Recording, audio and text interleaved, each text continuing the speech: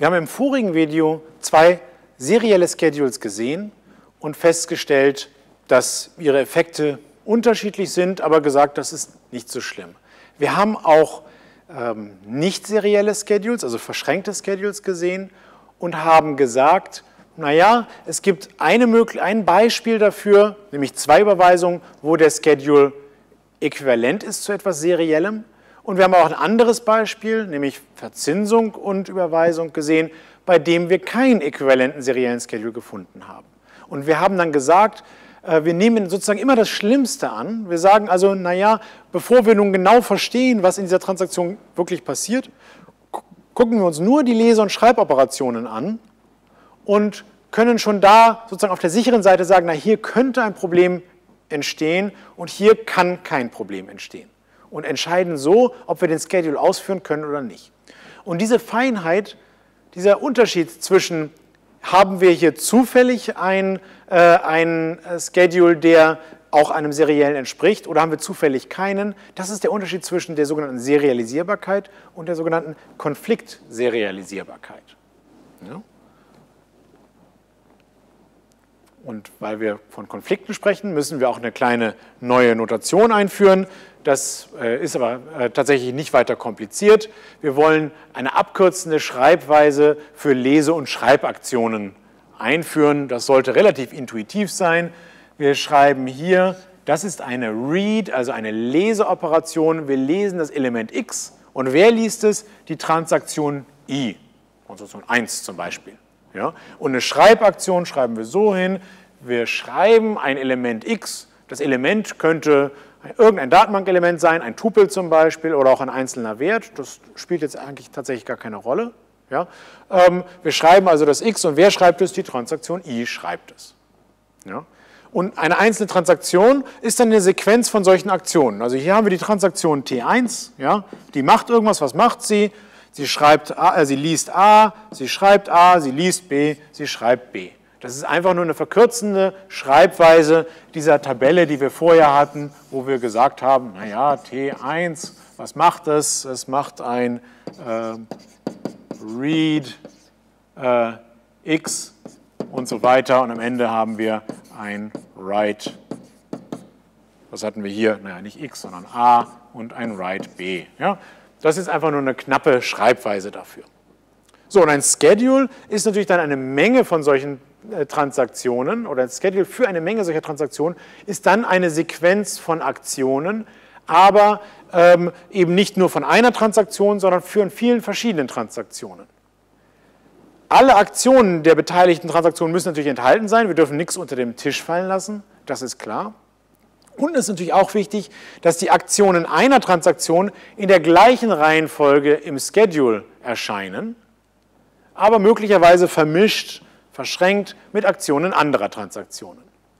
Das heißt also, ein Schedule nimmt viele solcher Sequenzen auf und vermischt die irgendwie, aber darf hier natürlich keine Umsortierung vornehmen. Die Transaktion muss immer noch in derselben richtigen Reihenfolge ausgeführt werden.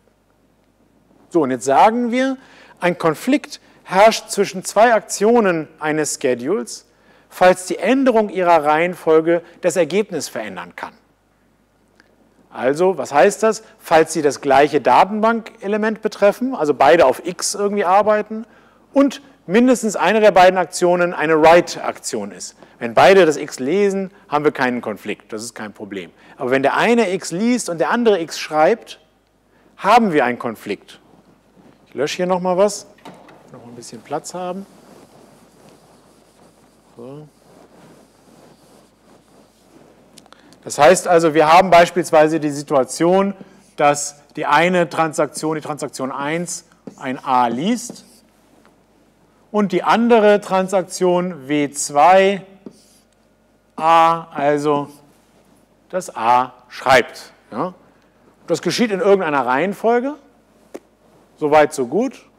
Und wenn wir jetzt aber die Reihenfolge vertauschen, könnte es passieren, dass das Ergebnis auch ein anderes ist. Es ist natürlich wichtig, ob der das A liest, bevor der andere das geschrieben hat oder nachdem er das andere geschrieben hat. Wir wissen nicht genau, ob das wirklich in einer ganz konkreten Transaktion ein Problem ist.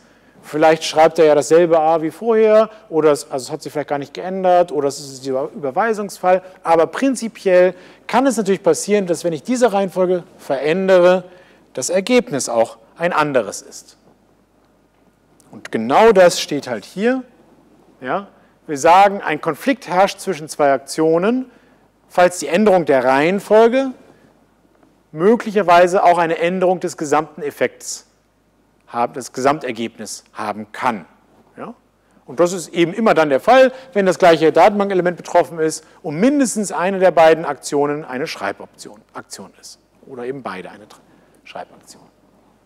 So, jetzt sind wir bereit, über Konfliktserialisierbarkeit, das ist ein schrecklich langes Wort, sprechen zu können. Die Idee, die dahinter steckt, ist, dass wir ähm, auch wieder einen Bezug zu einem seriellen Schedule suchen wollen und was wir versuchen werden, ist, wir werden nicht konfligierende Aktionen, also Aktionen, die nicht in Konflikt stehen, durchzutauschen, bis wir einen seriellen Schedule haben. Das heißt also, wir ziehen sozusagen den Schedule wieder auseinander, sodass alles wieder schön seriell ist. Ja? Und wenn das klappt, wenn wir also nicht konfligierende Aktionen so lange vertauschen können, bis wir plötzlich einen seriellen Schedule haben, dann können wir sagen, der Schedule ist serialisierbar.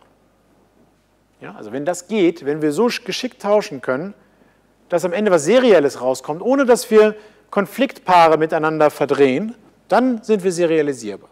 So, dann können wir also sagen, zwei Schedules, der Ausgangsschedule und ein veränderter Schedule sind konfliktäquivalent, wenn die Reihenfolge dieser konfligierenden Paare gleich ist in beiden Schedules. Und wir sagen dann, ein Schedule ist konfliktserialisierbar, wenn er konfliktäquivalent zu einem seriellen Schedule ist. Das ist einfach nur, die, diese Definition ist einfach nur diese Idee als Definition aufgeschrieben. Also wir wollen so lange durchtauschen, und zwar auf korrekte Art und Weise, Konflikt, in Konflikt stehende Aktionen dürfen nicht vertauscht werden. Wir wollen so lange durchtauschen, bis wir zu einem seriellen Schedule angekommen sind. Und wenn uns das gelingt, haben wir es geschafft, dann können wir sagen, ah ja, das Ergebnis ist garantiert dasselbe wie dieser serielle Schedule. Hier mal einem kleinen Beispiel gezeigt. Hier sehen Sie einen Schedule, lassen Sie sich jetzt nicht überwältigen, sondern man kann ihn ganz leicht sehen, man kann relativ leicht sehen, was passiert. Das ist nämlich genau der gleiche Schedule, den wir schon die ganze Zeit immer kennen.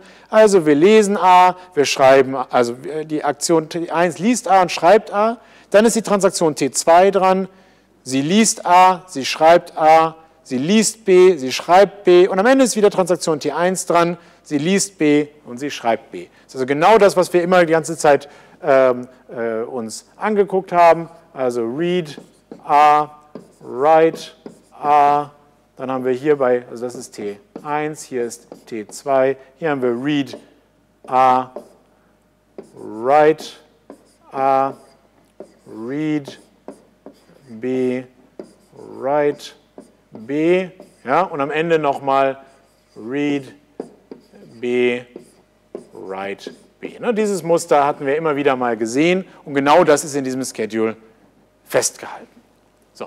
Und jetzt können wir wieder mal gucken, die beiden seriellen Schedules, erst T1, dann T2 oder erst T2, dann T1. Und jetzt wollen wir also schauen, sind die beiden Konflikt, ist einer von beiden, das hat jetzt nicht geklappt, ist einer von beiden konfliktäquivalent? Das wollen wir jetzt wissen. Und dazu gucken wir uns sie einfach mal an. Der erste ist ein serieller Schedule. Erst sehen Sie hier immer nur die Einsen, R1, W1, R1, W1 und dann kommen die ganzen Zweien, also erst Transaktion T1, dann T2. Und wir müssen jetzt gucken, sind die Reihenfolgen sozusagen eingehalten?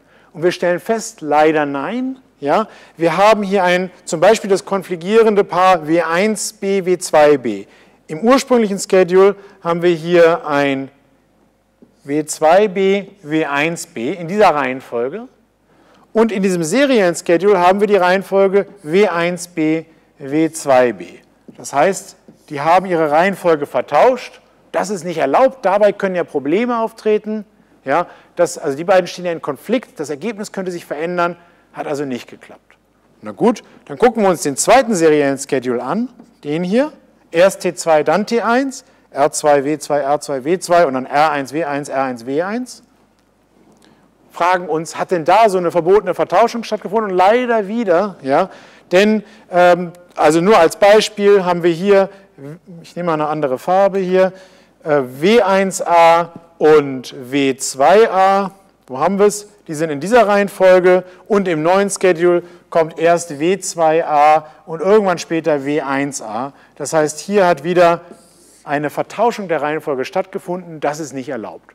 Das heißt also, der Schedule oben ist nicht konfliktäquivalent zu irgendeinem der beiden seriellen Schedules. Ne? Und genau das ist also das Problem. Wir müssen sagen, es gibt halt leider keinen entsprechenden konfliktäquivalenten seriellen Schedule, also ist der ursprüngliche Schedule nicht serialisierbar. Wir dürfen ihn so nicht ausführen, weil wir kein entsprechendes serielles äh, keine entsprechende serielle Alternative finden. Jetzt können wir noch mal ein ganz klein bisschen hineingucken in ein, ein ganz konkretes Beispiel, sozusagen als Spielerei. Wenn Konfliktserialisierbarkeit gilt, dann wissen wir, dann ist es serialisierbar. Wir wissen es nicht andersherum. Nur weil etwas serialisierbar ist, ist es noch nicht unbedingt konfliktserialisierbar. Konfliktserialisierbarkeit ist sozusagen strenger. Ja?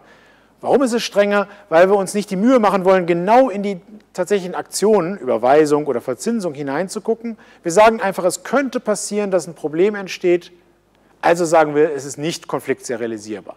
Obwohl es vielleicht in der Realität zufällig klappt, weil beides nur Überweisungen sind in dem Beispiel von vorhin, das ist dann serialisierbar.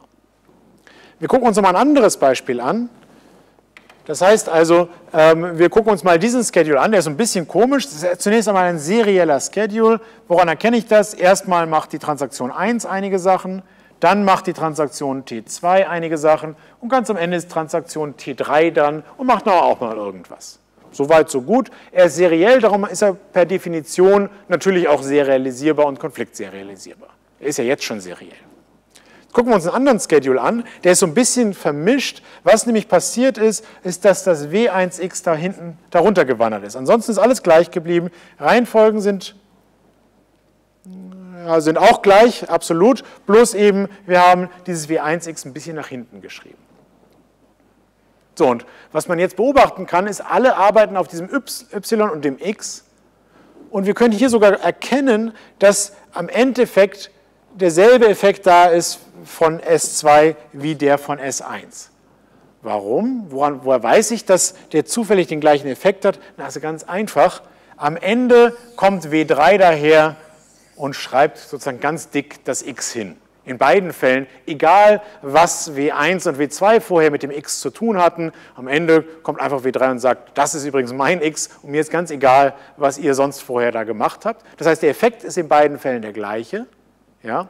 aber es ist sozusagen hier, äh, er ist nicht konfliktserialisierbar, er ist sozusagen zufällig serialisierbar, aber nicht konfliktserialisierbar, weil wir konfligierende Aktionen miteinander vertauschen mussten, insbesondere diese beiden zum Beispiel. Ja? Das heißt, das W2x ist dahin gewandert, das W1x ist dahin gewandert. Wir haben also zwei konfligierende vertauscht nicht erlaubt, also nicht konfliktserialisierbar, obwohl, obwohl, die Vertauschung völlig irrelevant ist. Am Ende wird das x von T3 geschrieben. Ja, nur noch, dass Sie noch mal ein kleines anderes Beispiel sich angucken. So, das war jetzt der Unterschied, sage ich mal, zum, zwischen Serialisierbarkeit und Konfliktserialisierbarkeit. Und dass das nicht alles nur graue Theorie ist, werden wir im nächsten Video anschauen. Bis jetzt war es Theorie im Sinne von, wir haben uns überlegt, wie definieren wir einen Zustand, nämlich die Serialisierbarkeit oder Konfliktserialisierbarkeit, so dass diese Probleme nicht auftreten. Was wir als nächstes betrachten müssen, ist, wie kriegt denn das Datenbanksystem das hin, diese Konfliktserialisierbarkeit stets zu garantieren.